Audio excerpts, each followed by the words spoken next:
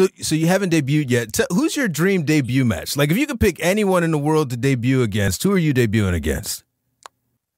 Oh, jeez. Um, besides, like you know, the Shibata one near near and dear to my heart. Um, the the field right now where I am, um, uh, Bro Keller Mm. and Mantequilla are like two guys. Like, if you don't know who they are, check them out. Their work is amazing. Mantequilla, I believe he is the uh, current House of Glory.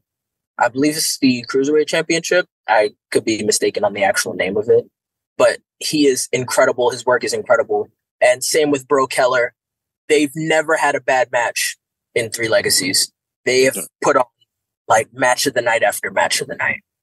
So I said that to him as well. Uh, after the most after the most recent one, I think it was a triple threat with uh, Bill Keller and Mantequilla. Uh, I can't remember who the other guy was, but it was awesome. It was it was the main event. It, it was just a banger the whole time. I'm a huge fan of Mantequilla right now. Like after seeing him wrestle, like bro, you're awesome, man. Yeah, and if you look back on the tapes of Three Legacies on the uh, Premier Streaming Network, uh, Mantequilla versus Smiley, I love that match so much.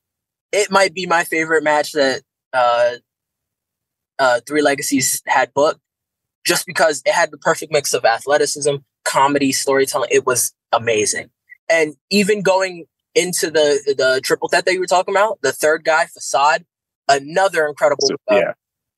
love to get in the ring with. All of their like energies are so high and there's like no downside to their energy. They don't get tired Mm. and I don't get it. and I just want to wrestle them and, and see it for myself, feel it for myself.